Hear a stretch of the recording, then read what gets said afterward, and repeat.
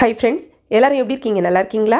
இன்றைக்கி நம்மளுடைய ஷிஜிடெக் தமிழ் சேனலில் பார்க்கக்கூடிய வீடியோ என்னென்னா ஷார்ட்ஸில் வந்திருக்கக்கூடிய ஒரு அழகான அப்டேட் பற்றி பார்க்கலாம். அதாவது நம்ம லாங் ஃபார்ம் வீடியோ போட்டுட்டு அதை ரீமிக்ஸ் கிளிக் பண்ணி ஷார்ட்ஸாக மேக் பண்ண முடியும். அல்லது அடுத்தவங்களுடைய ஷார்ட்ஸில் போயிட்டு கூட ரீமிக்ஸ் வந்து கிளிக் பண்ணி பண்ணலாம்.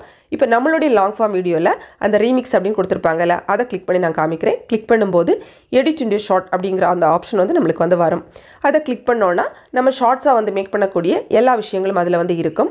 இப்போ இதில் புதுசாக வந்திருக்கக்கூடிய அப்டேட் என்னென்னா லேஅவுட்ஸ் அப்படின்னு கொடுத்துருப்பாங்க. இதுதான் அந்த அப்டேட்டு அந்த லேஅவுட்ஸ் அப்படிங்கிறத நீங்கள் கிளிக் பண்ணினீங்கன்னா உங்களுக்கு வந்து குட்டி குட்டியாக இந்த மாதிரி நிறைய பாக்ஸ் வந்து காமிப்பாங்க. உங்களுக்கு இதில் எது வேணுமோ அது மாதிரி நீங்கள் வந்து செலக்ட் பண்ணிக்கலாம். அது வந்து எப்படி ஷோ ஆகும் அப்படிங்கிறதும் அந்த இமேஜில் இருக்குல்ல அதே மாதிரி தான் அதாவது ஸ்கொயராக வேணால் ஸ்கொயராக எடுத்துக்கலாம். இல்லை வந்து உங்களுக்கு வந்து ரெண்டாக வந்து ஸ்பிட் பண்ணி வேணும்னா அந்த மாதிரி எடுத்துக்கலாம். நம்மளுடைய சாய்ஸ் தான். இப்போ நான் வந்து அந்த நாலாவது இருக்கக்கூடியது மாதிரி நான் எடுக்கிறேன்.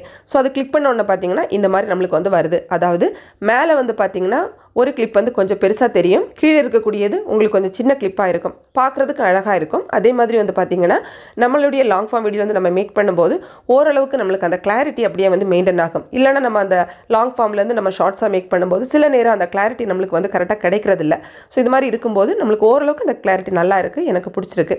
அதே மாதிரி உங்களுக்கு இந்த அப்டேட் பிடிச்சிருக்கா? இந்த அப்டேட் உங்களுக்கு வந்திருக்கா? அப்படிங்கிறதையும் செக் பண்ணி பார்த்துக்கோங்க இந்த வீடியோ உங்களுக்கு பிடிச்சிருந்தா லைக் பண்ணுங்கள் உங்கள் ஃப்ரெண்ட்ஸ்க்கு ஷேர் பண்ணிக்கோங்க. மேலும் பல வகையான யூடியூப் சம்மந்தப்பட்ட தகவல்களுக்கு நம்ம சேனல் ஷிஜிடெக் தமிழ் சேனலை மறக்காமல் சப்ஸ்கிரைப் பண்ணிக்கோங்க. தேங்க்ஸ் ஃபார் வாட்சிங் நன்றி வணக்கம்.